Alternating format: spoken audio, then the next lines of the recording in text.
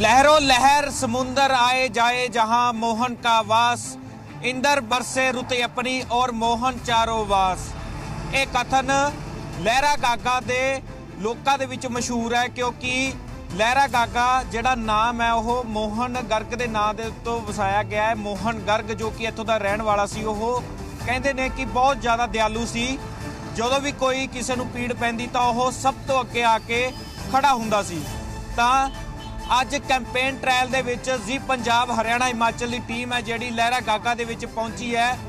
ਅੱਜ ਇੱਥੋਂ ਚੋਣ ਲੜ ਰਹੇ ਸ਼੍ਰੋਮਣੀ ਅਕਾਲੀ ਦਲ ਸੰਯੁਕਤ ਦੇ ਕੈਂਡੀਡੇਟ ਪਰਮਿੰਦਰ ਸਿੰਘ ਢੀਂਡਸਾ ਦਾ ਕੈਂਪੇਨ ਟ੍ਰਾਇਲ ਹੋਵੇਗਾ, ਕਿਉਂਕਿ ਪਰਮਿੰਦਰ ਸਿੰਘ ਢੀਂਡਸਾ ਉਹਨਾਂ ਵੱਲੋਂ ਜਿਹੜੀ ਨਵੀਂ ਪਾਰਟੀ ਹੈ, ਬਣਾਈ ਗਈ ਹੈ। ਨਵੀਂ ਪਾਰਟੀ ਹੈ, ਨਵੀਂ ਚੁਣੌਤੀਆਂ ਨੇ ਤੇ ਦੂਜੇ ਪਾਸੇ ਇਲੈਕਸ਼ਨ ਕਮਿਸ਼ਨ ਦੀਆਂ ਪਾਬੰਦੀਆਂ। ਇਹਨਾਂ ਸਾਰੀਆਂ ਚੀਜ਼ਾਂ ਨੂੰ ਮੱਦੇਨਜ਼ਰ ਰੱਖਦੇ ਹੋਏ ਕਿਸ ਤਰ੍ਹਾਂ ਨਾਲ ਪਰਮਿੰਦਰ ਸਿੰਘ ਢੀਂਡਸਾ ਆਪਣੀ ਕੈਂਪੇਨ ਚਲਾ ਰਹੇ ਨੇ ਇਹ ਅੱਜ ਅਸੀਂ ਦੇਖ ਲੱਗਦਾ ਜੀ ਨਿਊਜ਼ ਦੇ ਉੱਤੇ। ਧੰਨਵਾਦ ਤੁਹਾਡਾ ਬਹੁਤ ਮਿਹਰਬਾਨੀ ਤੁਸੀਂ ਆਏ ਅੱਜ। ਕਿਵੇਂ ਚੱਲ ਰਹੀ ਹੈ ਕੈਂਪੇਨ ਕਿਉਂਕਿ ਚੁਣੌਤੀਆਂ ਇਸ ਵਾਰ ਬਹੁਤ ਨਵੀਆਂ ਆਈਆਂ ਹੋਈਆਂ ਨੇ। ਦੇਖੋ ਕੈਂਪੇਨ ਤਾਂ ਬੜੀ ਹੈਕਟਿਕ ਹੈ। ਤੁਹਾਨੂੰ ਪਤਾ ਹੀ ਹੈ ਕੈਂਪੇਨ ਤਾਂ ਸਿਰ ਖੁਰਕਣ ਦਾ ਟਾਈਮ ਵੀ ਨਹੀਂ ਹੁੰਦਾ ਤੇ ਚੁਣੌਤੀਆਂ ਹਰ ਵਾਰੀ ਨਵੀਆਂ ਹੁੰਦੀਆਂ ਨੇ ਤੇ ਇਸ ਵਾਰ ਵੀ ਨਵੀਆਂ ਚੁਣੌਤੀਆਂ ਨੇ ਪਰ ਜੋ ਲੋਕਾਂ ਦਾ ਸਾਥ ਹੈ ਸਮਰਥਨ ਹੈ ਉਹ ਬਹੁਤ ਵਧੀਆ ਮਿਲ ਰਿਹਾ ਹੈ। ਸੋ ਇਸ ਲਈ ਸਾਨੂੰ ਪੂਰਾ ਭਰੋਸਾ ਹੈ ਕਿ ਬਹੁਤ ਵਧੀਆ ਰਿਜ਼ਲਟ ਅਸੀਂ ਦੇਵਾਂਗੇ ਇਹਨਾਂ ਚੋਣਾਂ 'ਚ। ਪਾਠ ਪੂਜਾ ਤੋਂ ਦਿਨ ਕਿਵੇਂ ਸਟਾਰਟ ਹੁੰਦਾ ਹੈ? ਕਿਉਂਕਿ ਹੁਣ ਇਸ ਵਕਤ ਤਾਂ ਬਿਜ਼ੀ ਸ਼ਡਿਊਲ ਬਹੁਤ ਹੋ ਜਾਂਦਾ ਹੁੰਦਾ। ਦੇਖੋ ਸਵੇਰੇ ਸਵਾ ਕੁ ਪੰਜ ਵਜੇ ਮੈਂ ਉੱਠਦਾ ਤੇ ਧਿਆ- ਨਹਾ ਕੇ ਪਾਠ ਕਰਕੇ ਫਿਰ ਹੁਣ ਤੁਸੀਂ ਆ ਗਏ ਤਾਂ ਹੀ ਤੁਹਾਨੂੰ ਥੋੜਾ ਜਿਹਾ ਸਨੇਹਾਂ ਦਾ ਟਾਈਮ ਦਿੱਤਾ ਸੀਗਾ ਥੋੜਾ ਜਲਦੀ ਆ ਜਾਓ ਕਿਉਂਕਿ ਫਿਰ ਨਿਕਲਣਾ ਹੁੰਦਾ ਕੈਂਪੇਨ ਵਾਸਤੇ। ਸੋ ਧੰਨਵਾਦ ਹੈ ਤੁਸੀਂ ਆ ਬੜੀ ਜਲਦੀ ਤੁਸੀਂ ਵੀ ਐਡੀ ਦੂਰ ਪਹੁੰਚੇ ਹੋ। ਤੇ ਆ ਜਾਓ ਆਪਾਂ ਬ੍ਰੇਕਫਾਸਟ ਕਰਦੇ ਹਾਂ, ਨਾਲੇ ਗੱਲ ਕਰ ਲੈਂਦੇ ਆ ਫਿਰ ਅੱਗੇ ਕੈਂਪੇਨ ਤੇ ਨਿਕਲਾਂਗੇ। ਕੈਂਪੇਨ ਟ੍ਰਾਇਲ ਦੇ ਵਿੱਚ ਅੱਜ ਪਰਮਿੰਦਰ ਸਿੰਘ ਢੀਂਡਸਾ ਉਹਨਾਂ ਨਾਲ ਅੱਜ ਦਾ ਦਿਨ ਬਤੀਤ ਹੋਵੇਗਾ ਕਿ ਕਿਸ ਤਰ੍ਹਾਂ ਨਾਲ ਕੈਂਪੇਨ ਆ ਜਿਹੜੀ ਉਹਨਾਂ ਦੀ ਚੱਲ ਰਹੀ ਆ। ਫਿਲਹਾਲ ਬ੍ਰੇਕਫਾਸਟ ਚੱਲ ਰਿਹਾ ਬ੍ਰੇਕਫਾਸਟ ਕਰਾਂਗੇ ਤੇ ਨਾਲ ਨਾਲ ਨਿੱਜੀ ਜ਼ਿੰਦਗੀ ਅਤੇ ਸਿਆਸੀ ਗੱਲਾਂ ਬਾਤਾਂ ਵੀ ਜਿਹੜੀਆਂ ਨਾਲ ਨਾਲ ਹੁੰਦੀਆਂ ਰਹਿਣਗੀਆਂ। ਸੋ ਢੀਂਡਸਾ ਸਾਹਿਬ ਕਿਸ ਤਰ੍ਹਾਂ ਦੇਖਦੇ ਹੋ? ਕਿਉਂਕਿ ਇੱਕ ਸ਼ਡਿਊਲ ਹੈ ਜਿਹੜਾ ਚੋਣਾਂ ਦੇ ਮਾਹੌਲ ਦੇ ਵਿੱਚ ਬਹੁਤ ਵਿਗੜ ਜਾਂਦਾ ਇੱਕ ਕੈਂਡੀਡੇਟ ਦਾ। ਕਿੰਨਾ ਕੁ ਜਿਹੜਾ ਹੁਣ ਤੁਹਾਡਾ ਸ਼ਡਿਊਲ ਹੈ ਜਿਹੜਾ ਵਿਗੜਿਆ ਹੋਇਆ? ਦੇਖੋ ਟਾਈਮ ਕੋਈ ਨਹੀਂ ਹੁੰਦਾ। ਸਵੇਰੇ ਤੁਸੀਂ ਕਿਸ ਟਾਈਮ ਜਾਣਾ ਹੈ, ਰਾਤ ਨੂੰ ਕਿਸ ਟਾਈਮ ਆਉਣਾ ਹੈ, ਕੋਈ ਨਹੀਂ ਪਤਾ। ਤੇ ਖਾਣੇ ਦਾ ਕੁਝ ਨਹੀਂ ਪਤਾ। ਕਿਉਂਕਿ ਸਵੇਰੇ ਖਾਣਾ ਖਾ ਕੇ ਜਾਂਦੇ ਆ ਰਾਤ ਨੂੰ ਕਿੰਨੇ ਵਜੇ ਖਾਣਾ ਹੈ, ਦਿਨੇ ਮਿਲਣਾ ਹੈ, ਨਹੀਂ ਮਿਲਣਾ। ਸੋ ਸਾਰੀਆਂ ਗੱਲਾਂ ਦਾ ਜਿਹੜਾ ਹੈ ਸ਼ਡਿਊਲ ਤਾਂ ਅਪਸੈਟ ਹੋ ਹੀ ਹੁੰਦਾ ਬਟ ਇਹ ਤਾਂ ਐਕਸਪੈਕਟਡ ਹੀ ਹੈ ਵੀ ਹੁਣ ਜਿਹੜਾ ਆਹ ਇੱਕ ਮਹੀਨਾ ਕੈਂਪੇਨਿੰਗ ਦਾ ਹੁੰਦਾ ਹੈ। ਇਹ ਤਾਂ ਫਿਰ ਸਾਰੇ ਪਰਿਵਾਰ ਦੇ ਸ਼ਡਿਊਲ ਜਿਹੜਾ ਹਿੱਲਿਆ ਹੁੰਦਾ ਕੈਂਪੇਨ ਦੀ ਗੱਲ ਕੀਤੀ ਹੈ ਤੁਸੀਂ। ਕੈਂਪੇਨ ਦੇ ਵਿੱਚ ਕੌਣ-ਕੌਣ ਮਦਦ ਕਰ ਰਿਹਾ ਹੈ? ਇਸ ਵਕਤ ਤੁਹਾਡੇ ਪਰਿਵਾਰ ਦੇ ਗੱਲ ਕੀਤੀ ਜਾਵੇ ਤਾਂ ਕੌਣ-ਕੌਣ ਜਿਹੜਾ ਇਸ ਵਕਤ ਤੁਹਾਡੀ ਮਦਦ ਕਰ ਰਿਹਾ ਕੈਂਪੇਨਿੰਗ ਦੇ ਵਿੱਚ? ਦੇਖੋ ਕੈਂਪੇਨ 'ਚ ਮੇਰੇ ਵਾਈਫ ਤੇ ਮੇਰੇ ਛੋਟੇ ਸਿਸਟਰ ਆਏ ਹੋਏ ਨੇ। ਮੇਰੇ ਮਾਤਾ ਜੀ ਤੇ ਮੇਰੇ ਸਹੁਰਾ ਸਾਹਿਬ। ਮਤਲਬ ਸਾਰੇ ਰਿਸ਼ਤੇਦਾਰ ਆਏ ਹੋਏ ਨੇ ਪਰਮਿੰਦਰ ਸਿੰਘ ਢੀਂਡਸਾ ਦੀ ਕੈਂਪੇਨ ਕਰਨ ਲਈ। ਹਾਂ, ਬਿਲਕੁਲ। ਦੇਖੋ, ਇਹ ਤਾਂ ਕਿਉਂਕਿ ਇਲੈਕਸ਼ਨ ਐਸੀ ਚੀਜ਼ ਹੈ ਕਿ ਇਹ ਤਾਂ ਜਿੰਨੇ ਵੀ ਤੁਹਾਡੀਆਂ ਹੱਥ ਬਾਹਾਂ ਹੋਣ, ਉਨੇ ਹੀ ਘੱਟ ਹੈ। ਤੇ ਇਹਦਾ ਪਰਿਵਾਰ ਦੇ ਮੈਂਬਰ ਸਾਰੇ ਹੀ ਆਪਦੀ ਕੋਸ਼ਿਸ਼ ਕਰਦੇ ਆ, ਕਿਉਂਕਿ ਬੜਾ ਕ੍ਰਿਟੀਕਲ ਹੈ। 5 ਸਾਲਾਂ ਬਾਅਦ ਅਗਲੀ ਇਲੈਕਸ਼ਨ ਆਉਣੀ ਹੁੰਦੀ ਹੈ। ਸੋ ਕੋਈ ਵੀ ਬੰਦਾ ਨਹੀਂ ਚਾਹੁੰਦਾ ਵੀ ਕਿ ਇੱਕ ਪੈਸੇ ਦਾ ਵੀ ਤੁਸੀਂ ਚਾਂਸ ਲਓ ਰਿਸਕ ਲਓ। ਤੇ ਸੋ ਸਾਰੇ ਮੈਂਬਰ ਆਪਦਾ ਪੂਰਾ ਜ਼ੋਰ ਲਾ ਰਹੇ ਨੇ। ਤੇ ਇਸ ਵਾਰੀ ਪਹਿਲੀ ਵਾਰ ਮੇਰਾ ਬੇਟਾ ਵੀ ਚੋਣ ਕੈਂਪੇਨ ਵਿੱਚ ਆਏਗਾ ਕੱਲ ਹੀ ਆਇਆ ਉਹ। ਤੇ ਸੋ ਮੈਂ ਸਮਝਦਾ ਇਹ ਜਿਹੜੀ ਕੈਂਪੇਨ ਹੈ, ਇਹ ਤਾਂ ਇੱਕ ਦੇ ਮੈਨੂੰ ਦਾ ਮਹੀਨਾ ਪਤਾ ਹੀ ਨਹੀਂ ਚੱਲਦਾ ਬੰਦੇ ਦਾ ਕਿਵੇਂ ਨਿਕਲ ਜਾਂਦਾ ਹੈਗਾ। ਉਹਨੂੰ ਸਮਝ ਹੀ ਨਹੀਂ ਆਉਂਦੀ, ਉਹਨੂੰ ਮਤਲਬ ਪੂਰੀ ਸੁਰਤੀ ਨਹੀਂ ਹੁੰਦੀ ਵੀ ਕੀ ਚੱਲ ਰਿਹਾ ਹੈਗਾ। ਅੱਛਾ, ਮਾਤਾ ਜੀ ਦੀ ਗੱਲ ਕੀਤੀ, ਮਾਤਾ ਜੀ ਸਾਡੇ ਨਾਲ ਮੌਜੂਦ ਨੇ। ਮਾਤਾ ਜੀ, ਇੱਕ ਮਾਂ ਦੀ ਦੁਆ ਹੁੰਦੀ ਹੈ ਕਿ ਉਹਦਾ ਪੁੱਤਰ ਤਰੱਕੀ ਕਰੇ, ਅੱਗੇ ਵਧੇ। ਤਾਂ ਕੀ ਲੱਗਦਾ, ਕੀ ਹੈ ਕਿ ਇਸ ਵਾਰ ਕਿੰਨਾ ਕੁ ਫ਼ਰਕ? ਮੈਂ ਤਾਂ ਵਾਹਿਗੁਰੂ ਜੀ ਕਾ ਖਾਲਸਾ, ਵਾਹਿਗੁਰੂ ਜੀ ਕੀ ਫਤਿਹ। ਮੈਂ ਤਾਂ ਹਰ ਟਾਈਮ ਸਵੇਰੇ ਪਾਠ ਕਰਕੇ ਵਾਹਿਗੁਰੂ ਅੱਗੇ ਇਹੀ ਦੁਆ ਕਰਦੀ ਕਰਦੀਆਂ ਵੀ ਮੇਰਾ ਬੱਚਾ ਵਧੇ, ਫੁੱਲੇ, ਸਾਰੇ ਇਹਦੀ ਇੱਜ਼ਤ ਵੀ ਕਰਦੇ ਨੇ। ਜਿੱਥੇ ਵੀ ਮੈਂ ਜਾਂਦੀ ਆ ਮੈਨੂੰ ਇਹੀ ਕਹਿੰਦੇ ਨੇ ਵੀ ਧੰਨ ਬੀਬੀ, ਤੈਂ ਜਿਸ ਪੁੱਤ ਨੂੰ ਜਨਮ ਦਿੱਤਾ ਹੈਗਾ। ਕਿਉਂ? ਉਹ ਨਾ ਤਾਂ ਕਦੇ ਕਿਸੇ ਨੂੰ ਉਹਨੇ ਜਵਾਬ ਦਿੱਤਾ ਹੈ। ਨਾ ਕਦੇ ਵੱਧਵੀਂ ਘਟਵੀਂ ਗੱਲ ਕਰੀ ਹੈਗੀ। ਕੰਮ ਥਾਂ ਹੀ ਧਿਆਨ ਹੈ, ਜਿਹੜਾ ਵੀ ਕੰਮ ਕਹਿ ਦਈਏ, ਉਹਨੇ ਕਰਨਾ ਹੈਗਾ। ਸੋ ਇਸ ਕਰਕੇ ਮੈਂ ਤਾਂ ਵਾਹਿਗੁਰੂ ਅੱਗੇ ਹੀ ਬਹੁਤ ਸ਼ੁਕਰ ਕਰਦੀ ਆ ਵੀ ਮੈਨੂੰ ਮੇਰੇ ਵਾਹਿਗੁਰੂ ਨੇ ਬੱਚਾ ਇਹੋ ਜਿਹਾ ਦਿੱਤਾ ਹੈਗਾ। ਸੋ ਜਿਹੜਾ ਜਿੱਥੇ ਵੀ ਮੈਂ ਜਾਂਦੀ ਆ ਸਾਰੀ ਇਹਦੀ ਵੀ ਤਾਰੀਫ ਕਰਦੇ ਨੇ, ਮੇਰੀ ਵੀ ਤਾਰੀਫ ਕਰਦੇ ਨੇ। ਅੱਛਾ ਢੀਂਡ ਸਾਹਿਬ ਮੈਂ ਗਲਤ ਨਾ ਹੋਵਾਂ ਤਾਂ ਐਮਬੀਏ ਮੇਰੇ ਖਿਆਲ ਤੁਸੀਂ ਯੂਨੀਵਰਸਿਟੀ ਤੋਂ ਕਰ ਰਹੇ ਸੀ ਪੰਜਾਬ ਪੰਜਾਬੀ ਯੂਨੀਵਰਸਿਟੀ ਤੋਂ। ਤਾਂ ਉਦੋਂ ਹੈ ਸੀ ਕੋਈ ਮਨ ਦੇ ਵਿੱਚ ਖਿਆਲ ਕਿਉਂਕਿ ਹਮੇਸ਼ਾ ਯੂਨੀਵਰਸਿਟੀਆਂ 'ਚ ਹੁੰਦਾ ਕਿ ਯੂਥ ਦੀ ਇਲੈਕਸ਼ਨ ਲੜੀ ਜਾਂਦੀ ਹੈ ਪੋਲਿਟਿਕਸ 'ਚ ਆਉਣਾ ਹੁੰਦਾ ਤਾਂ ਪਹਿਲਾਂ ਯੂਥ ਦੀ ਇਲੈਕਸ਼ਨ ਲੜੋ ਫਿਰ ਦੂਜੀਆਂ ਅਕਾਲੀ ਦਲ ਦੀ ਕੋਈ ਕੈਂਪੇਨ ਕਰੋ ਤਾਂ ਉਸ ਤੋਂ ਬਾਅਦ ਜਿਹੜਾ ਇਲੈਕਸ਼ਨ ਪੋਲਿਟਿਕਸ ਦੇ ਵਿੱਚ ਮੇਨ ਸਟ੍ਰੀਮ ਦੇ ਵਿੱਚ ਆਉਂਦਾ ਬੰਦਾ। ਤਾਂ ਕੋਈ ਉਦੋਂ ਹੈ ਸੀ ਐਮਬੀਏ ਦੇ ਵਿੱਚ ਵੀ ਪੋਲੀਟੀਕਲੀ ਜਾਣਾ? ਦੇਖੋ ਮੇਰਾ ਕਿਉਂਕਿ ਇਹ ਦੋਨੇ ਫੀਲਡਸ ਪਹਿਲਾਂ ਮੈਂ ਬੀਕਾਮ ਕੀਤੀ, ਫਿਰ ਐਮਬੀਏ ਥੋੜਾ ਜਿਹਾ ਇਹ ਐਕੈਡੈਮਿਕਲੀ ਇਨਕਲਾਈਨਡ ਸੀਗੇ। ਸੋ ਇਸ ਕਰਕੇ ਮੈਂ ਕਾਲਜ ਤੇ ਯੂਨੀਵਰਸਿਟੀ 'ਚ ਜ਼ਿਆਦਾ ਸਟੂਡੈਂਟ ਪੋਲਿਟਿਕਸ ਨਹੀਂ ਆਇਆ। ਤੇ ਨਾ ਹੀ ਮੇਰੀ ਵੈਸੇ ਕੋਈ ਇੱਛਾ ਸੀ, ਮੈਂ ਤਾਂ ਐਮਬੀਏ ਕਰਨ ਸਾਰ ਆਪਦਾ ਇੱਕ ਐਕਸਪੋਰਟ ਦਾ ਕੰਮ ਸ਼ੁਰੂ ਕੀਤਾ ਸੀ ਆਪਣੇ ਦੋਸਤ ਦੇ ਨਾਲ ਅਸੀਂ ਇਕੱਠੇ। ਮੈਂ ਉਧਰ ਧਿਆਨ ਦੇ ਰਿਹਾ ਸੀਗਾ, ਪਰ ਹਾਲਾਤ ਬਣ ਗਏ। ਉਸ ਤੋਂ ਬਾਅਦ ਸਨਾਮ ਤੋਰੜਾ ਸਾਹਿਬ ਦੀ ਜਿਵੇਂ ਮਾਤਾ ਜੀ ਨੇ ਦੱਸਿਆ ਕਿ ਉਹਨਾਂ ਦੀ ਡੈਥ ਹੋ ਗਈ। ਤੇ ਬਾਈ ਇਲੈਕਸ਼ਨ ਆਈ ਤੇ ਢੀਂਸਾ ਸਾਹਿਬ ਨੇ ਤੱਕ ਵੀ ਨਹੀਂ ਪਤਾ ਸੀ ਕਿ ਇਲੈਕਸ਼ਨ ਲੜਨੀ ਆ। ਇਨਫੈਕਟ ਜਦੋਂ ਸਾਡੀ ਮੈਰਿਜ ਹੋਈ ਆ ਉਦੋਂ ਵੀ ਇਟ ਵਾਸ ਲਾਈਕ ਕਿ ਪਰਮਿੰਦਰ ਇਜ਼ ਅ ਬਿਜ਼ਨਸਮੈਨ ਅਸੀਂ ਨੈਨੀਤਾਲ ਘੁੰਮਣ ਗਏ ਹੋਏ ਸੀ। ਉੱਥੋਂ ਪਤਾ ਲੱਗਿਆ ਕਿ ਪਰਮਿੰਦਰ ਜੀ ਨੂੰ ਇਲੈਕਸ਼ਨ ਲੜਨੀ ਪੈਣੀ ਹੈ ਵੀ ਵਰ ਸ਼ੌਕਡ ਐਂਡ ਉਦੋਂ we were not prepared only bus election ਵੀ ਨਹੀਂ ਸੀਗੇ ਤੁਸੀਂ ਇਲੈਕਸ਼ਨ ਲਈ? ਨਹੀਂ। ਇਲੈਕਸ਼ਨ ਲਈ ਮੈਂ ਕੋਈ ਪ੍ਰਿਪੇਅਰ ਨਹੀਂ ਸੀਗਾ। ਅਸ ਤਾਂ ਹੁਣੀ ਮੇਰਾ ਹਜੇ ਵਿਆਹ ਹੋਏ ਨੂੰ ਤਿੰਨ ਚਾਰ ਮਹੀਨੇ ਹੀ ਹੋਏ ਸੀ। ਤੇ ਇੱਧਰ ਮਤਲਬ ਨਾ ਹੀ ਮੇਰੀ ਸੋਚ ਸੀ ਅਸੀਂ ਜਿਵੇਂ ਤੁਹਾਨੂੰ ਦੱਸਿਆ ਮੈਂ ਐਕਸਪੋਰਟ ਦਾ ਸ਼ੁਰੂ ਕੀਤਾ ਸੀ ਆਪਣੇ ਦੋਸਤ ਦੇ ਨਾਲ। ਤੇ ਪਰ ਹਾਲਾਤ ਬਣ ਗਏ ਤੇ ਪਾਰਟੀ ਨੇ ਵੀ ਕਿਹਾ ਬਾਲ ਸਾਹਿਬ ਨੇ ਟੀਨ ਸਾਹਿਬ ਨੂੰ ਕਿਹਾ ਵੀ ਤੁਸੀਂ ਕਾਕਾ ਜੀ ਨੂੰ ਉਡਾਓ। ਤੇ ਟੀਨ ਸਾਹਿਬ ਕਹਿੰਦੇ ਠੀਕ ਹੈ ਤੇ ਉਸ ਤੋਂ ਬਾਅਦ ਫਿਰ ਆ ਸਿਆਸੀ ਸਫ਼ਰ ਸ਼ੁਰੂ ਹੋ ਗਿਆ। ਅੱਛਾ ਜਦ ਵਿਆਹ ਹੋਇਆ ਸੀ ਉਦੋਂ ਵਿਆਹ ਇਹ ਕਹਿ ਕੇ ਕਰਾਇਆ ਗਿਆ ਸੀਗਾ ਕਿ ਬਿਜ਼ਨਸਮੈਨ ਨੇ। ਤਾਂ ਕਦੇ ਐਕਸਪੈਕਟ ਨਹੀਂ ਕੀਤਾ ਹੋਣਾ ਤੁਸੀਂ ਵੀ ਕਿ ਪੋਲੀਟੀਸ਼ੀਅਨ ਬਣ ਜਾਣਗੇ। ਫਿਰ ਕਿਵੇਂ ਰਿਹਾ ਫਿਰ ਅਗਲਾ ਸਫ਼ਰ? ਸੀ ਜਦੋਂ ਸਟਾਰਟਿੰਗ 'ਚ ਤਾਂ ਬਹੁਤ ਡਿਫਿਕਲਟ ਲੱਗਿਆ। ਕਿਉਂਕਿ ਇਨ ਜਿੰਨਾਂ ਦੀ ਜਦੋਂ ਫਰਸਟ ਬਾਈ ਇਲੈਕਸ਼ਨ ਸੀ ਉਸ ਤੋਂ ਬਾਅਦ ਮੇਰਾ ਬੇਟਾ ਹੋਇਆ ਹੈ। ਸੋ ਇੱਕ ਜਦੋਂ ਸਟਾਰਟਿੰਗ ਤੁਸੀਂ ਨਿਊਲੀ ਵੈਡ ਹੁੰਦੇ ਤੁਹਾਨੂੰ ਇੱਕ ਹੁੰਦਾ ਹਸਬੰਡ ਵਾਈਫ ਇੱਕ ਦੂਜੇ ਨੂੰ ਟਾਈਮ ਦੇਣ ਸੋ ਪਰਮਿੰਦਰ ਜੀ ਕੋ ਡੇਢ ਸਾਲ ਸੀ। He had to prove himself so ਇਹ ਜੇ ਹਫ਼ਤੇ 'ਚ 5 ਦਿਨ ਹਲਕੇ 'ਚ ਹੁੰਦੇ ਸੀ ਤੇ 2 ਦਿਨ ਘਰ ਹੁੰਦੇ ਸੀ। ਸੋ ਇਹ ਕਾਫੀ ਗੱਲਾਂ ਤਾਂ ਰਿਹਾ ਬਟ ਲੋਕਾਂ ਨੇ ਢੀਂਸਾ ਸਾਹਿਬ ਦਾ, ਪਰਮਿੰਦਰ ਜੀ ਦਾ ਬਹੁਤ ਸਾਥ ਦਿੱਤਾ ਤੇ ਬਹੁਤ ਵੱਡੇ ਅਹੁਦਿਆਂ ਤੇ ਬੈਠੇ ਤੇ ਪਰਮਿੰਦਰ ਜੀ ਨੇ ਬਹੁਤ ਚੰਗੀ ਤਰ੍ਹਾਂ ਨਿਭਾਏ। ਅਕਸਰ ਸ਼ਿਕਾਇਤ ਹੁੰਦੀ ਹੈ ਘਰ ਵਾਲਿਆਂ ਦੀ ਕਿ ਜਿਹੜੇ ਉਹਨਾਂ ਦੇ ਘਰ ਵਾਲੇ ਪੋਲੀਟੀਸ਼ੀਅਨ ਹੁੰਦੇ ਨਾ, ਵੀ ਉਹ ਟਾਈਮ ਨਹੀਂ ਦੇ ਪਾਉਂਦੇ ਫੈਮਿਲੀ ਨੂੰ। ਤੁਹਾਨੂੰ ਵੀ ਸ਼ਿਕਾਇਤ ਰਹੀ ਹੈ? ਸ਼ਿਕਾਇਤ ਰਹੀ ਹੈ ਪਰ ਪਰਮਿੰਦਰ ਜੀ ਦੀ ਇੱਕ ਗੱਲ ਹੈ ਜਿਹੜਾ ਕੰਮ ਕਰਦੇ ਫਿਰ 100% ਕਰਦੇ ਆ। ਇਹ ਜਦੋਂ ਹਲਕੇ 'ਚ ਆ ਗਏ ਸੀ ਫਿਰ ਇਹ ਇਹਨਾਂ ਦਾ ਪਰਿਵਾਰ ਸੀ। ਤੇ ਹੁਣ ਜਦੋਂ ਮੈਂ ਮੈਂ ਪਰਮਿੰਦਰ ਜੀ ਨਾਲ ਮੇਰੀ ਮੈਰਿਜ ਨੂੰ 21 ਇਅਰਸ ਹੋ ਗਏ ਮੈਨੂੰ ਲੱਗਦਾ ਮੈਂ 7-8 ਇਲੈਕਸ਼ਨਸ ਦੇਖ ਲਈਆਂ ਪਰ ਜਦੋਂ ਵੀ ਹਲਕੇ 'ਚ ਜਾਂਦੇ ਇਹ ਦੇਖ ਕੇ ਖੁਸ਼ੀ ਹੁੰਦੀ ਆ ਕਿ ਸਾਰੇ ਪਰਮਿੰਦਰ ਜੀ ਦੀ ਨਮਰਤਾ ਨੂੰ ਤੇ ਇਹਨਾਂ ਦੇ ਕੰਮ ਨੂੰ ਵੇਖ ਕੇ ਬਹੁਤ ਜ਼ਿਆਦਾ ਖੁਸ਼ ਆ।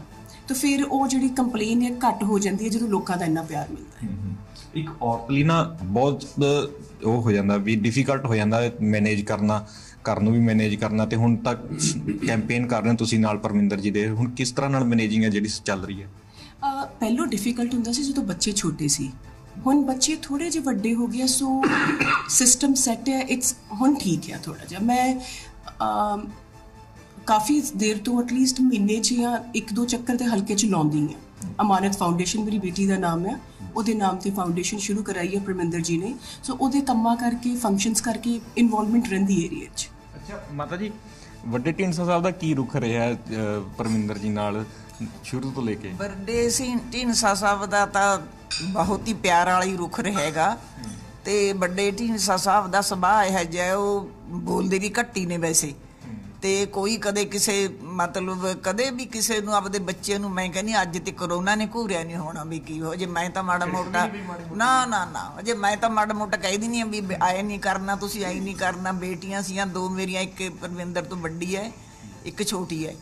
ਤੇ ਕਦੇ ਵੀ ਮੈਂ ਤਾਂ ਇਹ ਕਹਿੰਦੀ ਆ ਵੀ ਵਾਹਿਗੁਰੂ ਦਾ ਸ਼ੁਕਰ ਹੈ ਮੈਨੂੰ ਮੇਰੇ ਬੱਚਿਆਂ ਨੇ ਕਦੇ ਦੁੱਖ ਮੈਨੂੰ ਐ ਲੱਗਦਾ ਵੀ ਇਹਨਾਂ ਨੇ ਜੰਮਣ ਤੋਂ ਲਾ ਕੇ ਹੀ ਕਦੇ ਮੈਨੂੰ ਤਕਲੀਫ ਨਹੀਂ ਦਿੱਤੀ ਛੋਟੇ ਹੁੰਦਿਆਂ ਤੋਂ ਲਾ ਕੇ। ਬਹੁਤ ਵੱਡੀ ਗੱਲ ਹੁੰਦੀ ਹੈ। ਪਰਮਿੰਦਰ ਜੀ, ਇਹ ਚੀਜ਼ ਦਾ ਅੱਜ ਸੁਣ ਰਹੇ ਹੋ। ਹੁੰਦਾ ਵੀ ਪ੍ਰਾਊਡ ਫੀਲ ਹੁੰਦਾ ਵੀ ਅਸੀਂ ਕਦੇ ਮਾਪਿਆਂ ਨੂੰ ਨਹੀਂ ਦੁੱਖ ਦਿੱਤਾ ਹੈਗਾ। ਨਹੀਂ, ਹੁੰਦਾ ਹੀ ਇਸ ਗੱਲ ਤਾਂ ਤਾਂ ਹੁੰਦਾ ਬਿਲਕੁਲ। ਦੇਖੋ, ਬੰਦੇ ਦਾ ਸਭ ਤੋਂ ਜ਼ਰੂਰੀ ਤਾਂ ਇਹ ਹੈ ਵੀ ਮਾਪਿਓ ਖੁਸ਼ ਹੋਣੇ ਚਾਹੀਦੇ ਨੇ। ਤੇ ਜਿਹੜਾ ਬੰਦਾ ਮੈਂ ਸਮਝਦਾ, ਮਾਪਿਓ ਨੂੰ ਨਹੀਂ ਖੁਸ਼ ਰੱਖ ਸਕਦਾ, ਉਹ ਕਿਸੇ ਨੂੰ ਵੀ ਨਹੀਂ ਖੁਸ਼ ਰੱਖ ਸਕਦਾ। ਤੋਂ ਮਾਪਿਓ ਦਾ ਜਿਵੇਂ ਇੱਛਾ ਹੁੰਦੀ ਹੈ, ਅਸੀਂ ਕੋਸ਼ਿਸ਼ ਵੀ ਕਰਦੇ ਵੀ ਉਹਨਾਂ ਦੀ ਇੱਛਾ ਮੁਤਾਬਕ ਹੀ ਚੱਲੀਏ। ਹਾਂ, ਜਿੱਥੇ ਕੋਈ ਹੁੰਦਾ ਹੈਗਾ, ਅਸੀਂ ਬੈਠ ਕੇ ਕਰ ਵੀ ਲੈਣੇ। ਇਹਦਾ ਨਹੀਂ ਹੈਗਾ ਵੀ ਸਾਡੇ ਵਿਊਜ਼ ਡਿਫਰੈਂਟ ਨਹੀਂ ਹੁੰਦੇ। ਪਰ ਅਲਟੀਮੇਟਲੀ ਹੁਣ ਤੱਕ ਵੀ ਸਾਡੇ ਪਰਿਵਾਰ 'ਚ ਚਾਹੇ ਮੇਰੇ ਮਦਰ ਨੇ, ਚਾਹੇ ਫਾਦਰ ਨੇ, ਜੇ ਕੋਈ ਗੱਲ ਆ ਜਾਂਦੀ ਹੈ ਤਾਂ ਫਿਰ ਉਹਨਾਂ ਦੀ ਹੀ ਮੰਨੀ ਜਾਂਦੀ ਹੈ ਹੁਣ ਤੱਕ। ਸੋ ਇੰਨਾ ਕੁ ਸਾਡੇ ਭੈਣਾਂ ਦਾ, ਭਰਾ ਦਾ, ਮੇਰਾ, ਸਾਡਾ ਇਹ ਰਹੇਗਾ ਵੀ ਅਲਟੀਮੇਟਲੀ ਚਾਹੇ ਸਾਡਾ ਡਿਫਰੈਂਸ ਓਪੀਨੀਅਨ ਹੋਵੇ, ਬੈਠ ਕੇ ਅਸੀਂ ਗੱਲ ਕਰਦੇ ਹਾਂ, ਪਰ ਜੇ ਜੋ ਫਾਈਨਲ ਆਫ ਕਰਦੇ ਨੇ ਉਹੀ ਅਸੀਂ ਜਿਹੜੇ ਫੈਮਿਲੀ ਫੋਲੋ ਕਰਦੇ। ਅੱਛਾ ਸਪੋਰਟਸ ਤੋਂ ਜ਼ਿਆਦਾ ਸਪੋਰਟਸ ਤੇ ਬੜਾ ਰੁਝਾਨ ਰਿਹਾ ਪਰਮਿੰਦਰ ਜੀ ਤੁਹਾਡਾ। ਮੈਂ ਮੈਂ ਵੈਸੇ ਤਾਂ ਦੇਖੋ ਸਪੋਰਟਸ ਜਿਵੇਂ ਕਹਿੰਦੇ ਨਾ master of all trades sorry jack of all trades master of none ਮੈਂ ਖੇਡ ਸਾਰੀਆਂ ਗੇਮ ਲਿਆ ਪਰ ਮੈਂ ਪ੍ਰੋਫੈਸ਼ਨਲੀ ਕੁਝ ਨਹੀਂ ਕੀਤਾ। ਮਤਲਬ ਮੈਨੂੰ ਸ਼ੌਕ ਸੀਗਾ ਖੇਡਾਂ ਦਾ। ਮੈਂ ਮਤਲਬ ਡੇਲੀ ਜਿਹੜਾ ਖੇਡਣਾ ਜ਼ਰੂਰ ਹੈ ਚਾਹੇ ਕ੍ਰਿਕਟ ਖੇਡ ਲਈ ਚਾਹੇ ਫੁੱਟਬਾਲ ਖੇਡ ਲਈ ਜਾਂ ਕੁਝ ਕਰ ਲਿਆ। ਮਤਲਬ ਸਾਰੀਆਂ ਗੇਮ ਸੀ ਜਿਹੜਾ ਵੀ ਦੋਸਤ ਨਾਲ ਕਿਸੇ ਨਾਲ ਬਣਨਾ ਪ੍ਰੋਗਰਾਮ ਯਾਰ ਘੰਟਾ ਖੇਡ ਲਈਏ ਤਾਂ ਕੋਈ ਗੇਮ ਜਿਹਦੇ ਨਾਲ ਕਿਸੇ ਨੇ ਕਹਿਣਾ ਜੀ ਸਕੁਐਸ਼ ਖੇਡ ਲਈਏ ਸਕੁਐਸ਼ ਖੇਡਣ ਚਲੇ ਜਾਣਾ ਕਿਸੇ ਨੇ ਕਹਿਣਾ ਜੀ ਚਲੋ ਅੱਜ ਆਪਾਂ ਫੁੱਟਬਾਲ ਖੇਡ ਲੈਂਦੇ ਆ ਉਵੇਂ ਕਰ ਲੈਣਾ। ਸੋ ਉਹ ਜਿਹਾ ਮੇਰਾ ਰਹੇਗਾ ਪਰ ਮੈਨੂੰ ਇਹ ਗੱਲ ਹੈ ਵੀ ਮੈਂ ਚਾਹੁੰਦਾ ਸੀਗਾ ਵੀ ਮੈਂ ਇੱਕ ਗੇਮ 'ਚ ਫੋਕਸ ਕਰਾਂ ਉਹ ਨਹੀਂ ਹੋਇਆ। ਹੁਣ ਮੇਰਾ ਬੇਟਾ ਜ਼ਰੂਰ ਕਰ ਰਿਹਾ ਇਹ ਹੁਣ ਕ੍ਰਿਕਟ ਆਪਣੇ ਨੈਸ਼ਨਲ ਲੈਵਲ ਤੇ ਅੰਡਰ ਖੇਡ ਰਿਹਾ ਹੈਗਾ। ਸੋ ਉੱਥੇ ਥੋੜਾ ਜਿਹਾ ਮੈਨੂੰ ਲੱਗਦਾ ਮੇਰੇ ਨਾਲੋਂ ਬੈਟਰ ਹੈ ਮੈਂ ਉਹਨਾਂ ਉਹਨਾਂ ਫੋਕਸ ਨਹੀਂ ਕਰ ਸਕਿਆ। ਉਦੋਂ ਆਈ ਬਲੀਵ ਟਾਈਮ ਵੀ ਨਹੀਂ ਸੀ ਐਕਸਪੋਜ਼ਰ ਨਹੀਂ ਸੀ। ਹਾਂ ਕ੍ਰਿਕਟ ਤਾਂ ਹੈ ਹੀ ਨਹੀਂ ਸੀ। ਹੈ ਨਹੀਂ ਸੀਗਾ ਹੁਣ ਫਿਰ ਪੂਰੀ ਜਿਹੜਾ ਫੋਕਸ ਹੈ ਕ੍ਰਿਕਟ ਵੱਲ ਹੈ ਜਾਂ ਫਿਰ ਹੁਣ ਪੋਲਿਟਿਕਸ ਹੈ? ਐਜ਼ ਆਫ ਤਾਂ ਜੀ ਕ੍ਰਿਕਟ ਤੇ ਪੜਾਈ ਵਾਲੀ ਹੈ ਜੀ ਮੇਰਾ ਫੋਕਸ ਹਲੇ ਤਾਂ ਬਸ ਪਾਪਾ ਦੀ ਥੋੜੀ ਜੀ ਹੈਲਪ ਜੀ ਕਰਨ ਆਏ ਜੀ ਇੱਥੇ ਉਸ ਤੋਂ ਬਾਅਦ ਵਾਪਸ ਕ੍ਰਿਕਟ ਤੇ ਪੜਾਈ ਵੱਲ ਹੋ ਜਾਏਗਾ। ਅੰਡਰ 20 ਅੱਛਾ ਕਿਸ ਤਰ੍ਹਾਂ ਨਾਲ ਲੱਗਦਾ ਜਦ ਲੋਕਾਂ 'ਚ ਉਤਰਦੇ ਹੋ ਤਾਂ ਪਰਮਿੰਦਰ ਜੀ ਵੱਲ ਰੁਝਾਨ ਹੁੰਦਾ ਜਾਂ ਲੋਕਾਂ ਦਾ ਕਿਸ ਤਰ੍ਹਾਂ ਨਾਲ ਫਿਰ ਫੀਲ ਹੁੰਦਾ? ਮੈਂ ਤਾਂ ਜੀ ਕੱਲ ਗਿਆ ਸੀ ਖਨੌਰੀ ਤੇ ਮੈਂ ਡੋਰ ਟੂ ਡੋਰ ਕਰਿਆ ਸੀ। ਹਰ ਬੰਦੇ ਨੇ ਪਾਪਾ ਦੇ ਜਿਵੇਂ ਜਿਹੋ ਜਿਹੇ ਪਾਪਾ ਦਾ ਨੇਚਰ ਹੈ ਉਹਦੀ ਤਾਰੀਫ ਕੀਤੀ ਜਿਹੜੇ ਕੰਮ ਕਰਾਏ ਉਹਦੀ ਤਾਰੀਫ ਕੀਤੀ ਮੈਨੂੰ ਤਾਂ ਉਹ ਤੋਂ ਵਧੀਆ ਕੀ ਹੈ। ਮੈਨੂੰ ਤਾਂ ਉਹਦੀ ਪਾਪਾ ਦੀ ਤਾਰੀਫ ਸੁਣ ਕੇ ਵਧੀਆ ਲੱਗ ਰਿਹਾ ਸੀ ਹੋਰ ਤਾਂ। ਅੱਛਾ ਮੈਂ ਤੁਸੀਂ ਵੀ ਜਾਣਦੇ ਹੋ? ਹਾਂਜੀ, ਤੁਸੀਂ ਵੀ ਹਾਂਜੀ। ਲੋਕ ਕੁਝ ਤਾਂ ਕਹਿੰਦੇ ਹੋਣੇ ਪਰਮਿੰਦਰ ਜੀ ਬਾਰੇ? ਜ਼ਾ- ਕਿਸੇ ਬਹੁਤ ਜ਼ਿਆਦਾ ਕਿਸੇ ਨੇ ਕੰਪਲੇਨ ਨਹੀਂ ਕੀਤੀ। ਦੇਖੋ, ਇਸ ਵਾਰੀ ਇਲੈਕਸ਼ਨ ਦਾ ਸਿਨੈਰੀਓ ਬਹੁਤ ਡਿਫਰੈਂਟ ਹੈ। ਮੈਨੂੰ ਲੱਗਦਾ ਹੈ ਹਲਕੇ ਦੇ ਵਿੱਚ ਠੀਕ ਹੈ, ਪਾਰਟੀ ਵੀ ਹੈਗੀ ਆ ਸਾਰਾ ਕੁਝ ਆ। ਪਰ ਜੇ ਪਰਮਿੰਦਰ ਜੀ ਦੀ ਜਿਹੜੀ ਜਿੱਤ ਆ ਨਾ, ਇਹ ਇਹਨਾਂ ਦੀ ਆਪਣੇ ਇੰਡੀਵਿਜੂਅਲ ਲੋਕਾਂ ਦਾ ਰਿਲੇਸ਼ਨ ਤੇ ਇਹਨਾਂ ਦੇ ਕੰਮਾਂ ਕਰ ਸੋ ਬ੍ਰੇਕਫਾਸਟ ਚੱਲ ਰਿਹਾ ਪਰਮਿੰਦਰ ਜੀ ਨਾਲ। ਹੋਰ ਵੀ ਸਿਆਸੀ ਗੱਲਾਂ ਬਾਤਾਂ ਚੱਲ ਰਹੀਆਂ ਤੇ ਹਾਲਾਂਕਿ ਨਿੱਜੀ ਜਿਹੜੇ ਜ਼ਿੰਦਗੀ ਦੇ ਸਵਾਲਾਂ ਦੇ ਜਿਹੜੇ ਜਵਾਬ ਨੇ ਜ਼ਰੂਰ ਪਰਮਿੰਦਰ ਤੇ ਪਰਮਿੰਦਰ ਦੀ ਫੈਮਿਲੀ ਉਹਨਾਂ ਵੱਲੋਂ ਲਿੱਤੇ ਗਏ ਨੇ। ਫਿਰ ਅਗਲੀ ਸਿਆਸਤ ਦਾ ਕੀ ਰੁਖ ਰਹਿਣ ਵਾਲਾ ਹੈ ਕੈਂਪੇਨ ਕਿਸ ਤਰ੍ਹਾਂ ਨਾਲ ਚੱਲ ਰਹੀ ਹੈ ਇਹ ਅਗਲੇ ਪੜਾਅ ਦੇ ਵਿੱਚ ਦੇਖਦੇ ਹਾਂ।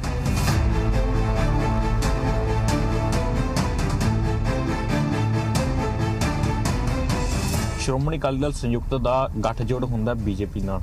ਉਹ ਵੀ ਉਸ ਵਕਤ ਜਦੋਂ ਬੀਜੇਪੀ ਦਾ ਸਾਰੇ ਪਾਸੇ ਵਿਰੋਧ ਹੋ ਰਿਹਾ ਕਿਵੇਂ ਦੇਖ ਰਹੇ ਹੋ ਹੁਣ ਲੋਕਾਂ ਦਾ ਕੀ ਪਿਆਰ ਆ ਰਿਹਾ ਦੇਖੋ ਅਸੀਂ ਲੋਕਾਂ ਨੂੰ ਸਮਝਾ ਰਹੇ ਹਾਂ ਵੀ ਇਹ ਪੰਜਾਬ ਦੇ ਹਿੱਤਾਂ ਨੂੰ ਰੱਖ ਕੇ ਅਸੀਂ ਇਹ ਕੀਤਾ ਹੈ। ਜੋ ਪੰਜਾਬ ਦੀਆਂ ਮੰਗਾਂ ਨੇ ਅਸੀਂ ਉਹ ਲੈ ਕੇ ਉਹਨਾਂ ਨੂੰ ਬੀਜੇਪੀ ਨਾਲ ਇਹ ਸਮਰਥਨ ਦਿੱਤਾ ਹੈਗਾ।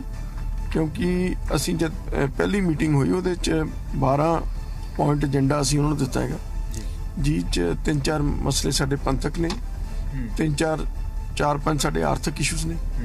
ਅਤੇ ਤਿੰਨ ਜਿਹੜੇ ਸਾਡੇ ਪੁਰਾਣੇ ਚਾਹੇ ਸਾਡੇ ਪਾਣੀਆਂ ਦਾ ਪੰਜਾਬੀ ਬੋਲਦੇ ਇਲਾਕੇ ਸਾਡੀ ਰਾਜਧਾਨੀ ਇਹ ਇਸ਼ੂਜ਼ ਨੇ।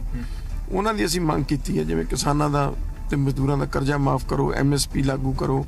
ਸੋ ਜਿਹੜੀਆਂ ਬੇਸਿਕਲੀ ਕਿਸਾਨਾਂ ਦੀਆਂ ਮੰਗਾਂ ਨੇ, ਉਹ ਅਸੀਂ, ਉਹਨਾਂ ਨੂੰ ਵੀ ਟੇਕ ਅਪ ਕੀਤਾ ਹੈਗਾ। ਬਾਕੀ ਪੰਥਕ ਇਸ਼ੂਜ਼ ਹੋ ਗਏ ਜਿਵੇਂ ਬੰਦੀ ਸਿੰਘਾਂ ਦੀ ਰਿਹਾਈ, ਕਾਲੀ ਸੂਚੀ ਖਤਮ ਕਰਨਾ ਐਸਜੀਪੀਸੀ ਚੋਣਾਂ ਕਰਾਉਣੀਆਂ। ਉਹ ਉਹਨਾਂ ਨੂੰ ਲੈ ਕੇ ਅਸੀਂ, ਉਹਨਾਂ ਨੇ ਸਾਨੂੰ ਭਰੋਸਾ ਦਿਵਾਇਆ ਵੀ ਅਸੀਂ ਇਹਦੇ ਉੱਤੇ ਜ਼ਰੂਰ ਕੰਮ ਕਰਾਂਗੇ ਤੇ ਇਹਨਾਂ ਮਸਲਿਆਂ ਦਾ ਹੱਲ ਕਰਾਂਗੇ। ਕੀ ਕੀ ਮੁੱਦੇ ਰਹਿਣ ਵਾਲੇ ਨੇ? ਲਹਿਰਗਾ ਕਾਕੇ ਜੇਕਰ ਗੱਲ ਕੀਤੀ ਜਾਵੇ, ਪੰਜ ਅਹਿਮ ਮੁੱਦੇ ਕੀ ਰਹਿਣ ਵਾਲੇ ਨੇ? ਦੇਖੋ, ਸਾਡੇ ਲਹਿਰੇ ਦਾ ਜਿਹੜੇ ਵਿਕਾਸ ਦੀ ਗੱਲ ਹੈ, ਇੱਕ ਤਾਂ ਸਾਡੇ ਕੋਲ ਐਜੂਕੇਸ਼ਨਲ ਇੰਸਟੀਟਿਊਸ਼ਨਸ ਇੱਥੇ ਸਟੈਬਲਿਸ਼ ਕਰਨ ਦੀ ਲੋੜ ਹੈ। ਘੱਗਰ ਦਾ ਜਿਹੜਾ ਰਹਿੰਦਾ ਕੰਮ ਹੈ, ਉਹਨੂੰ ਹੱਲ ਕਰਨ ਦੀ, ਉਹਨੂੰ ਕੰਪਲੀਟ ਕਰਨ ਦੀ ਗੱਲ ਹੈ। ਸਾਡੇ ਜੋ ਹਸਪੀਟਲਸ ਨੇ, ਉਹਨਾਂ ਨੂੰ ਠੀਕ ਕਰਾਉਣ ਦੀ ਗੱਲ ਹੈ, ਕਿਉਂਕਿ ਹਸਪੀਟਲਸ ਉਹਰੇ ਨਾ ਜਿਹੜੇ ਬਣੇ ਤਾਂ ਹੋਏ ਨੇ, ਪਰ ਉੱਤੇ ਨਾ ਇਨਫਰਾਸਟ੍ਰਕਚਰ ਹੈ, ਨਾ ਉੱਥੇ ਕੋਈ ਡਾਕਟਰ ਨੇ, ਨਾ ਉੱਥੇ ਦਵਾਈਆਂ ਜਾਂ ਇਕਵਿਪਮੈਂਟ ਕੋਈ ਨਹੀਂ ਹੈਗਾ ਟੈਸਟਿੰਗ ਦਾ। ਸੋ ਬਿਲਕੁਲ ਜਿਵੇਂ ਖਾਲੀ ਪਏ ਨੇ ਹਸਪਤਾਲ। ਉਹ 'ਚ ਕੋਈ ਸੁ- ਸਹੂਲਤਾਂ ਨਹੀਂ ਲੋਕਾਂ ਨੂੰ ਮਿਲ ਰਹੀਆਂ ਉਹਨਾਂ ਨੂੰ ਸੁਚਾਰੂ ਢੰਗ ਨਾਲ ਚਲਾਉਣਾ ਤੇ ਹਸਪਤਾਲਾਂ ਨੂੰ ਅਪਗ੍ਰੇਡ ਕਰਨਾ, ਇਹ ਬੜੇ ਲੰਬੇ ਸਮੇਂ ਦੀ ਜਿਹੜੀ ਹੈ ਇਲਾਕੇ ਦੇ ਲੋਕਾਂ ਦੀ ਮੰਗ ਹੈ। ਸਾਡਾ ਇਰੀਗੇਸ਼ਨ ਸਿਸਟਮ ਜਿਹੜਾ ਉਹ ਖਤਮ ਹੋਇਆ ਪਿਆ ਉਹਨੂੰ ਜਿਹੜਾ ਹੈ ਠੀਕ ਕਰਨਾ ਹੈ। ਕਾਫੀ ਅਸੀਂ ਠੀਕ ਕੀਤਾ ਪਿਛਲੇ ਸਮੇਂ 'ਚ। ਤਕਰੀਬਨ 150 ਕਰੋੜ ਰੁਪਇਆ ਮੈਂ ਲਾਇਆ ਸੀ ਜਦ ਮੈਂ ਫਾਈਨੈਂਸ ਮਿਨਿਸਟਰ ਸੀ। ਤੇ ਬਾਕੀ ਜਿਹੜਾ ਹੁਣ ਰਹਿੰਦਾ ਹੈਗਾ, ਉਹਨੂੰ ਵੀ ਕਰਾਉਣਾ ਹੈ ਤੇ ਇੱਕ ਸਾਡੀ ਇਲਾਕੇ ਦੀ ਵੀ ਕੋਈ ਅਹ, ਰੁਜ਼ਗਾਰ ਦੇ ਲਈ ਕੋਈ ਸਾਧਨ ਪੈਦਾ ਕੀਤੇ ਜਾਣ। ਸੋ ਮੇਰੀ ਕੋਸ਼ਿਸ਼ ਹੈ ਵੀ ਲਹਿਰੇ ਦੇ ਵਿੱਚ ਇੱਕ ਗਾਰਮੈਂਟ ਹੱਬ ਕੇਂਦਰ ਦੇ ਨਾਲ ਜੋ ਹੱਬ ਐਂਡ ਸਪੋਕ ਮਾਡਲ ਉਹਨਾਂ ਨੇ ਸ਼ੁਰੂ ਕੀਤਾ ਉਹਦੇ ਤਹਿਤ ਅਸੀਂ ਇੱਕ ਇੱਥੇ ਪ੍ਰਪੋਜ਼ ਕਰੀਏ। ਸੋ ਇਸ ਵਕਤ ਪਰਮਿੰਦਰ ਸਿੰਘ ਢੀਂਡਸਾ ਨੇ ਜਿਹੜੇ ਆਪਣੇ ਪ੍ਰੋਗਰਾਮ ਦੇ ਵਿੱਚ ਪਹੁੰਚੇ ਨੇ ਤੇ ਲੋਕਾਂ ਨੂੰ ਮਿਲ ਰਹੇ ਨੇ ਗੱਲਬਾਤ ਕਰ ਰਹੇ ਨੇ। ਅਸੀਂ ਵੀ ਜਿਹੜਾ ਕਿਤੇ ਨਾ ਕਿਤੇ ਲੋਕਾਂ ਦੇ ਨਾਲ ਗੱਲਬਾਤ ਕਰਾਂਗੇ ਕਿ ਕਿਸ ਤਰ੍ਹਾਂ ਨਾਲ ਦੇਖਦੇ ਹੋ ਇਸ ਇਸ ਵਾਰ ਪਰਮਿੰਦਰ ਸਿੰਘ ਢੀਂਡਸਾ? ਕੀ ਲੱਗਦਾ ਕਿ ਇਸ ਵਾਰੀ ਜਿੱਤ ਪਾਉਣਗੇ? ਹਾਂਜੀ। ਇਸ ਵਾਰੀ ਜੀ ਕੱਢਣ ਦੀ ਸੰਭਾਵਨਾ 100 ਦਾ 100 ਸੀਟ ਜੀ ਐਤਕੀ। ਜੀ ਵਿਚਾਰ ਵਧੀਆ ਇਹਦੇ ਕੰਮਕਾਰ ਬਹੁਤ ਵਧੀਆ ਨੇ ਜੀ। ਬੰਦਾ ਬਹੁਤ ਵਧੀਆ ਐਸੀ ਗੱਲ ਨਹੀਂ। 100 ਦਾ 100 ਸੀਟ ਕੱਢਾਂਗੇ ਜੀ ਐਤਕੀ। ਕਿਵੇਂ ਦੇਖਦੇ ਹੋ ਚੀਜ਼ ਨੂੰ ਸਾਰੀ ਲੈ ਕੇ? ਕਿ ਬੀਬੀ ਰਜਿੰਦਰ ਕੌਰ ਭੱਠਲ ਪੂਰੀ ਤਾਕਤ ਦੇ ਵਿੱਚ ਦੁਬਾਰਾ ਫਿਰ ਤੋਂ ਆ ਰਹੇ ਨੇ ਉਹ ਦੂਜੇ ਪਾਸੇ ਪਰਮਿੰਦਰ ਸਿੰਘ ਢੀਂਡਸਾ ਆਪਣੀ ਨਵੀਂ ਪਾਰਟੀ ਬਣਾ ਕੇ ਲਹਿਰ ਗਾਗੇ ਦੇ ਵਿੱਚ ਆਏ ਨੇ। ਪ੍ਰਵਿੰਦਰ ਸਿੰਘ ਢੀਂਡਸਾ ਦਾ ਮੁਕਾਬਲਾ ਕੋਈ ਪੱਠਲ ਨਾਲ ਮੁਕਾਬਲਾ ਨਹੀਂ ਹੈ। ਪੱਠਲ ਬੀਬੀ ਪਹਿਲਾਂ ਮੁੱਖ ਮੰਤਰੀ ਵੀ ਰਹੀ ਉਪ ਮੁੱਖ ਮੰਤਰੀ ਵੀ ਰਹੀ।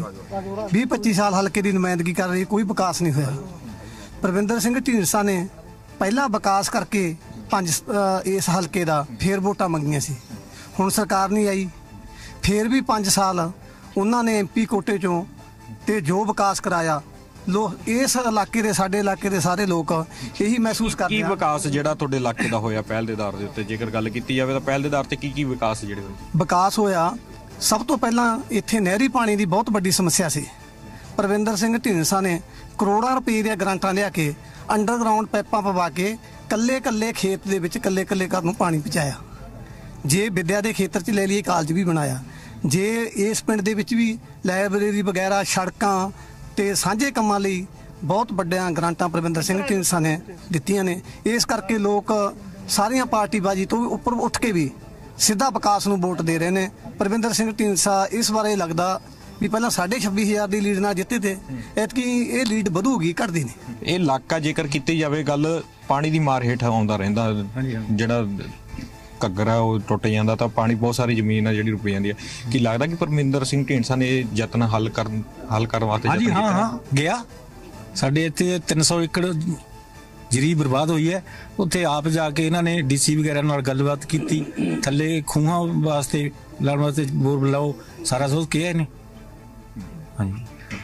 ਸੋ ਜ਼ਰੂਰ ਕਿਤੇ ਨਾ ਕਿਤੇ ਪਰਮਿੰਦਰ ਸਿੰਘ ਢੀਂਡਸਾ, ਉਹਨਾਂ ਦੀ ਹਮਾਇਤ ਆ ਜਿਹੜੀ ਲੋਕਾਂ ਵੱਲੋਂ ਕੀਤੀ ਜਾ ਰਹੀ ਹੈ ਅਤੇ ਅੱਜ ਦਾ ਦਿਨ ਸੀਗਾ ਜਿਹੜਾ ਕੈਂਪੇਨ ਟ੍ਰਾਇਲ ਦਾ, ਉਹ ਪਰਮਿੰਦਰ ਸਿੰਘ ਢੀਂਡਸਾ ਉਹਨਾਂ ਨਾਲ ਬਤੀਤ ਕੀਤਾ ਕਿ ਕਿਸ ਤਰ੍ਹਾਂ ਨਾਲ ਕੈਂਪੇਨ ਆ ਜਿਹੜੀ ਉਹਨਾਂ ਦੀ ਚੱਲ ਰਹੀ ਹੈ ਤੇ ਨਾਲ ਹੀ ਗੱਲਬਾਤ ਹੋਈ, ਮੁੱਦਿਆਂ ਨੂੰ ਲੈ ਕੇ ਗੱਲਬਾਤ ਹੋਈ, ਉਹਨਾਂ ਦੀ ਨਿੱਜੀ ਜ਼ਿੰਦਗੀ ਨੂੰ ਲੈ ਕੇ ਤੇ ਗੱਲਬਾਤ ਹੋਈ ਕੈਂਪੇਨ ਨੂੰ ਲੈ ਕੇ, ਕਿਉਂਕਿ ਚੁਣੌਤੀਆਂ ਨਵੀਂ ਨੇ, ਨਵੀਂ ਪਾਰਟੀ ਹੈ ਨਵੀਂ ਪਾਰਟੀ ਦੇ ਨਾਲ ਕਿਸ ਦੇ, ਕਿਸ ਰੂਪ ਦੇ ਵਿੱਚ ਉੱਭਰ ਰਹੇ ਨੇ, ਇਹ ਅਜੇ ਦੇਖਣਾ ਬਾਕੀ ਹੈ ਤੇ ਫਿਲਹਾਲ 10 ਤਰੀਕ ਨੂੰ ਲੋਕ ਕਿ ਪਰਮਿੰਦਰ ਸਿੰਘ ਢੀਂਡਸਾ ਦੇ ਉੱਤੇ ਸਹਿਰਾ ਸਜਾਉਂਦੇ ਨੇ ਜਾਂ ਨਹੀਂ, ਇਹ ਦੇਖਣਾ ਅਜੇ ਅਹਿਮ ਹੋਵੇਗਾ।